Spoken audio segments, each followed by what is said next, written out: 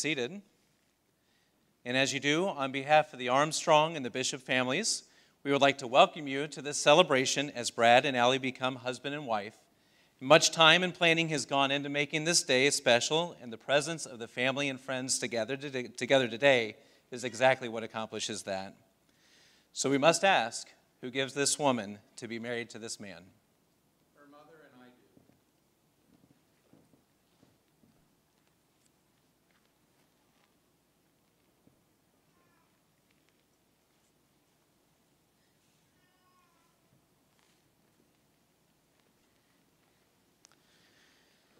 Brad and Allie, you made it. Enjoy this. That was the most remarkable entrance, right? right, Brad? Okay, good. Set, you up for success already, so that's good. Brad and Allie, I want to tell you, um, just between the three of us, as if nobody else was in the crowd, that it has been a privilege for Kara and I to be a part of this process. And um, as you think about it, Allie, um, your faithfulness over the years has been amazing to watch. And I wanted to tell you that whether it was singing with Sarah and a special music, or serving together in the Dominican Republic, or even when it was pulling a prank on myself by hiding in the luggage compartment of the bus. Um, you have to know that we still love you in spite of that, and we're so thankful for this day and that God has provided you this man. And Brad, today has been a, a neat day celebrating with you, and then even the interesting thought of being present at your parents' wedding 33 years ago and now having a chance to marry their son um, is a unique and a special blessing as well. And so it's been fun to get to know you and uh, sharing that common bond of being only children as well. And so we've had much to learn about. And um, better than all of those things, it has been fun to watch and to understand your love not only for each other, but for the Lord. And our prayer is as we go into this time of celebration with you, that we would be committing this relationship to the glory of God. And that's our prayer. And so, Brad and before we go any farther, I want you to know this, though, that Kara and I love you and that we are here for you. And I want you to think about this as well as you look at the crowd of people that are here and those that are gathered on your either side. This is your community. This is what we've talked about. Don't ever feel like you can't contact us or um, the pastors at your home church because that's what community is about. And so we want to see you succeed. We want to see you glorify God in your relationship. And I want you to know that just because you kiss the bride in just a few minutes, that the relationship between Kara and I and you two do not have to end, that we are here for you um, in the long run. And we love you guys dearly. And we're so thankful to be a part of your day. I did want to share with you just a couple thoughts from God's Word. Okay, and the Bible teaches us this in Genesis chapter 2, verse 18. And the Lord God said, It is not good that man should be alone. I will make for him a helpmeet. And you understand this well that when Adam was created, he was the only piece of creation that lacked a companion. When God observed that, he declared that that was not good, and he met that need by providing the wife. And so, by God's design, a man and a woman are called in the scriptures in Genesis to leave and to cleave. The Bible says this Therefore shall a man leave his father and his mother, and shall cleave unto his wife, and they shall be one flesh. And so, understand that in the Garden of Eden, our Heavenly Father sanctified and He hallowed the first home. In His wisdom, the first establishment was not the church, it was not the government, it was not a school system, it was the family. And I want to remind you that as God began to lay that framework for society, He started with the home. And so there are two principles that are found in Genesis chapter 2 I want to remind you of. And if you can hang on to those, then you're off to a good start. Taken right out of the text that I just read to you, the Bible says, first of all, leaving. The Bible says, Therefore shall a man leave his father and his mother and shall cleave. And so I want to remind you when it comes to leaving, when a couple sets out to establish a new home, in a sense, they are saying goodbye to an old one. Things aren't going to always be the same, and we've talked about that quite a bit. You're not leaving, though, in terms of love and communication with your parents or your family, but you are leaving in an aspect of authority and priority now focused on the two of you as you serve the Lord together. Remember, outside of your relationship with God, your primary relationship is to each other. Stay faithful and continue to serve the Lord together as you strive to to glorify Him. Brad, as you received your bride from her father, I want to remind you that you now become the head of your home, that the responsibility and the leadership rests on your shoulders. It's your job to faithfully love and to lead Allie according to the Word of God.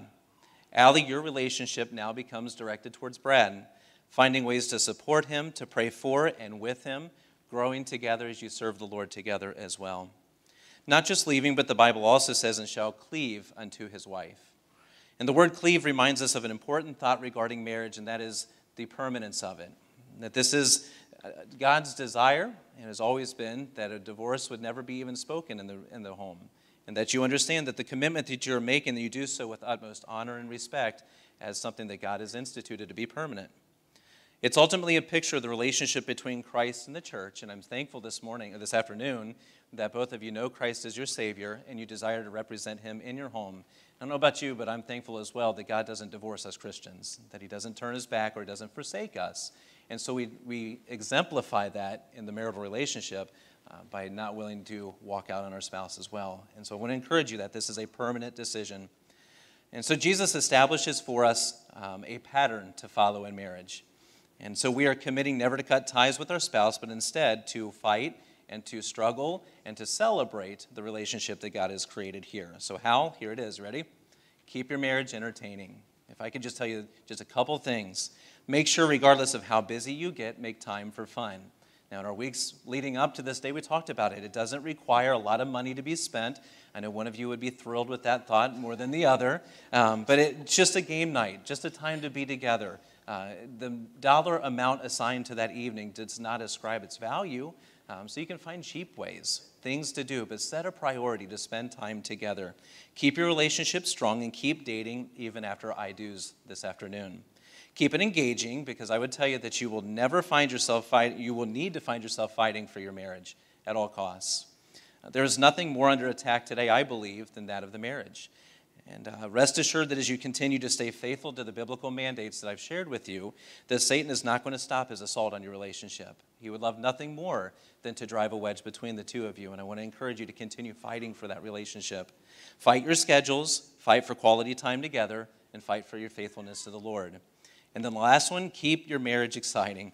Keep romance strong and enjoy your togetherness. Make sure that that remains a priority. Never feel guilty for wanting time alone. Never feel guilty for blocking off uh, even a holiday weekend to spend time just with the two of you. Make that a priority. But I would tell you that nothing is easier than saying words, and nothing is harder than living them day by day. And so, what you promise today must be renewed and lived out tomorrow, and the next day, and the day after that. And as you daily work together and as you daily love together, it will make your burdens lighter because you divide them, it will make your joys more intense because you share them, and it will make you stronger because it will let you tackle life's problems together. And so, what I would like to do at this point is let's bow in a word of prayer, and then we will continue with our service. Father, we thank you for bringing Allie and Brad together. And God, I know that this time is going to be but a blur to, to some degree, that all of the planning and preparation that has gone into this moment um, has been for your glory, and we thank you for that. God, I'm thankful that Brad and Allie both know Christ as their Savior and that their desire in this marriage is to glorify you, and that's priority one. And so, Lord, I pray that you would instill into them these principles that we've drawn out of the book of Genesis, God, that as they leave what they have called normal for many years and now begin on this new journey in a relationship with each other, God, that they would um, understand that the people around them are still part of their community. We are here to support and to love on them. And uh, God, we just thank you for the group that has gathered together to celebrate and show support. And God, as they cleave and as they establish that permanence in this relationship, Lord, I do pray uh, that you would stay the, the attacks of the devil. Lord, I pray that you would encourage them to fight for their marriage and for time together. And God, that you again might be uh, strengthening by your grace this relationship that we are seeing uh, brought together today. So, Lord, we thank you and we praise you for this time. And we commit this couple to you as we prayed in Jesus' name. Amen. Well, Brad and Allie have established a goal, as we've already mentioned, of making Christ first place in their relationship. And for this to take place, married couples need a lot of grace, a lot of forgiveness, and even more prayer. And so, as they join right now with their families for a special time of prayer, for those of us that have gathered together as witnesses, I would ask that you in your seats would join in praying with them as we continue to support them and lift them up before their Lord in this new journey together.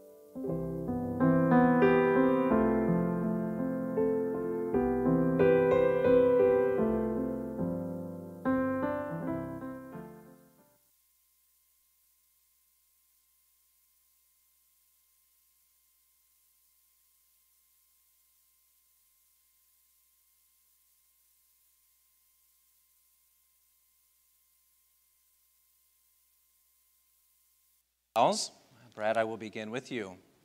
Do you, Brad, in the presence of God and these witnesses, promise to love and to cherish in sickness and in health, in prosperity and adversity, this woman whose hands you now hold?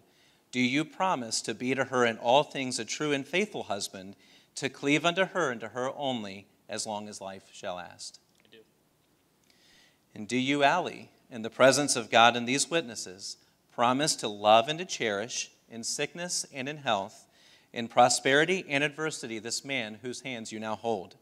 Do you promise to be to him in all things a true and faithful wife, and to cleave unto him and to, to him only as long as life shall last? I do. Well, Brad, do you possess a token of love that you would like to present to your wife? I do. As you place this ring on Allie's ring finger, I'm going to ask that you repeat after me.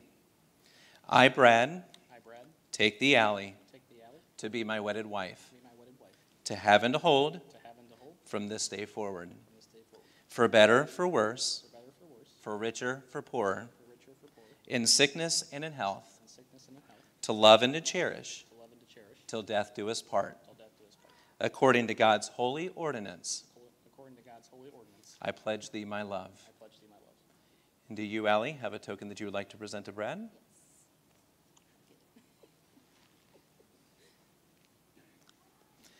Allie, as you place that on Brad's ring, finger, would you repeat after me? I, Allie, I, Allie, take thee, Brad, take thee, Brad, to be my wedded husband, to be my wedded husband, to have and to hold. To have and to hold. From this day forward, from this day forward, for better, for worse, for better, for worse, for richer, for poor, for richer, for poorer, in sickness and in health, in sickness and in health, to love and to cherish, to love and to cherish, till death do us part. till death do us part. According to God's holy ordinance, According to God's holy ordinance, I pledge thee my love. I pledge thee my love. Well, Brad and Allie, you've been challenged by God's word. You've been challenged concerning the permanence of the commitment that you're making before God and all of these witnesses. You're representing it by the rings that you've placed on each other's fingers. And your verbal commitment through your vows has established the fact that you are desirous to glorify God and remain together till death do you part, just as you said. So I got to tell you, as a minister of the gospel and by the state of Ohio, it is my privilege to pronounce you husband and wife. And let me remind you one final time that which God hath joined together, let no man put asunder. Brad. You may kiss your bride.